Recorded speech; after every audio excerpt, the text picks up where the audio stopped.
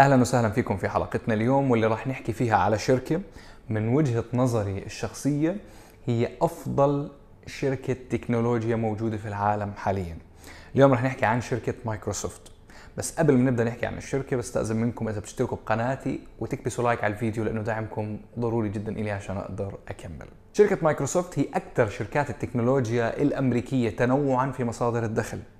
مصادر الدخل الرئيسية للشركة ثلاثة ال personal computing ال cloud services وال business suite لكن إذا اطلعنا في كل وحدة من مصادر الدخل الثلاثة راح نلاحظ إنه في تحتهم مصادر جانبية للدخل أكثر مما إحنا بنتخيل. مايكروسوفت cloud أو مايكروسوفت أزور زي ما الشركة بتسميه بتشكل حوالي 18% من ال total cloud infrastructure في العالم وهو رقم اثنين بعد شركة امازون في هذا المجال.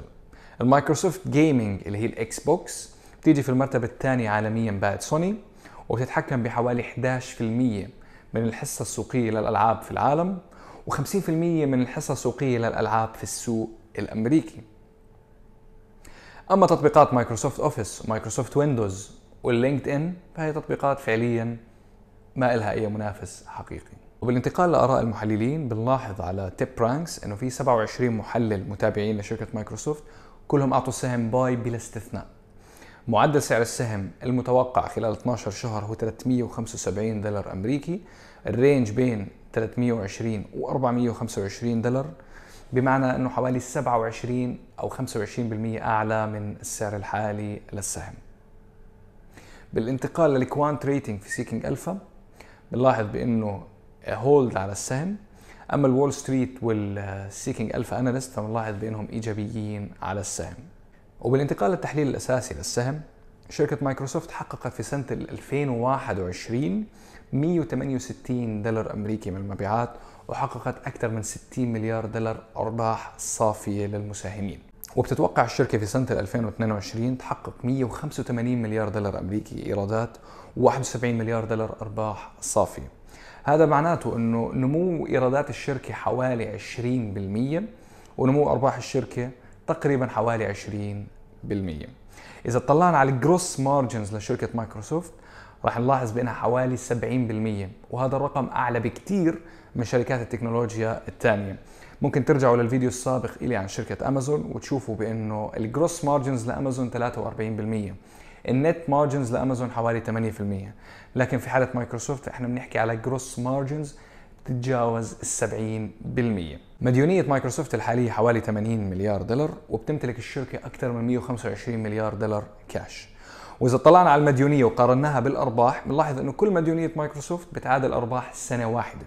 الشركة فعليا هي عبارة عن آلة لطباعة الأرباح بشكل ما بتشبهه أي شركة ثانية يمكن إلا بس أبل أو جوجل القيمة الدفترية للسهم حوالي 22 دولار أمريكي وبصراحة ال price to book ratio اللي هي حوالي 13 تعتبر مرتفعة بالنسبة لسهم مايكروسوفت. ال PE ratio لمايكروسوفت 32 برضه يعتبر رقم مرتفع لأنه زي ما اتفقنا ال PE ratio المعتدل هو بين 20 ل 25 أعلى من 25 معناها إنه الشركة سعرها شوي مرتفع. ولكن إذا كانت الشركة عالية الجودة مثل مايكروسوفت فهذا بيفسر سبب إنه ال multiples تبعتها مرتفعة. وبالانتقال للمنافسين ولمستقبل الشركة هون الموضوع بيصير كتير interesting في أشياء كثير حنعرفها عن مايكروسوفت ما كنتوا تعرفوها من قبل. اولا إذا طلعنا على المشاريع المستقبلية لمايكروسوفت فراح نلاحظ بأنه مايكروسوفت هي اللاعب الساكت في مجال الميتافيرس. خلال السنة هاي 2022 حتبدأ مايكروسوفت بطرح نظارات الميتافيرس اللي هي بتسميها HoloLens واللي هي أصلا كسبت فيها contract مع الجيش الأمريكي بحوالي 22 مليار دولار أمريكي على مدار ثلاث سنين. بالإضافة لهذا الشيء راح تطرح مايكروسوفت تطبيق اسمه Mesh راح يمكن المستخدمين من إنهم يستخدموا الميتافيرس في تواصلهم مع بعض وهذا راح يساعد في انتقال ال metaverse لل business وللحياة العادية للمستخدمين لتطبيقات مايكروسوفت. مايكروسوفت بتمتلك تطبيق اسمه Bing وهو محرك بحث منافس لجوجل. عم بحقق هذا التطبيق نمو سريع في الاستخدام ولكن لسه إيراداته من الإعلانات متدنية.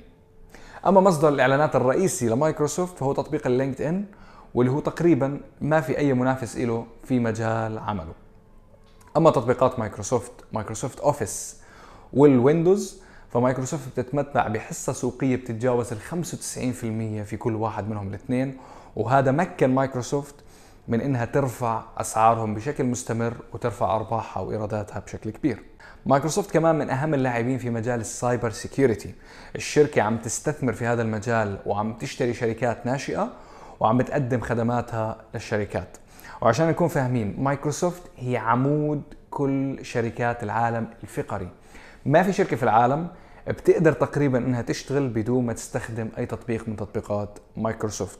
سواء كنا بنحكي على ال Office أو على ال Windows أو على ال Microsoft Teams وال Skype وغيرها من التطبيقات وعشان هيك راح يكون سهل كثير على مايكروسوفت إنها تستخدم علاقاتها القوية مع كبرى شركات العالم في إنها تبيعهم منتجاتها الإضافية في مجال ال cyber security وال metaverse في المستقبل وعشان هيك أنا بتوقع إنه مايكروسوفت راح تقدر بشكل سريع بإنها تعكس ابتكاراتها العلمية في هاي المجالات لارباح وايرادات تنعكس على المساهمين.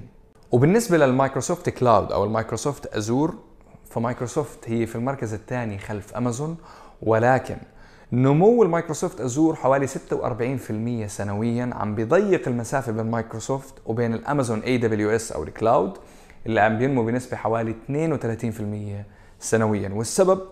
هو توسع مايكروسوفت في مجالات معينة في ال cloud Amazon services ما بتوفرها للمستخدمين. أما بالنسبة للمجال الأخير واللي هو ال gaming فمع شراء مايكروسوفت لشركة Activision Blizzard المالكه لل Call of Duty وقبلها لشركة ال Minecraft وغيرها من الشركات الثانية ومع امتلاك مايكروسوفت لل Xbox وتصنيعها له فمن المتوقع إنه مايكروسوفت راح تصير أكبر player في العالم في مجال ال online gaming واللي هو هدف عم تسعى له مايكروسوفت وعم تسعى لتجاوز سوني و Tencent في هذا المجال. بالنسبة لرأيي في مايكروسوفت فأنا بعتبر مايكروسوفت أفضل شركة تكنولوجيا في الوقت الحالي. الشركة من الشركات القليلة في العالم اللي عندها القدرة أنها ترفع أسعارها وراح يضطروا المستخدمين أنهم يدفعوا الأسعار الجديدة مهما رفعتها الشركة. عندها قدرة غير طبيعية على مقاومة التضخم وارتفاع الأسعار. عندها إيرادات وأرباح جدا عالية وهذا الإشي بيخليني مقتنع كتير في الشركة.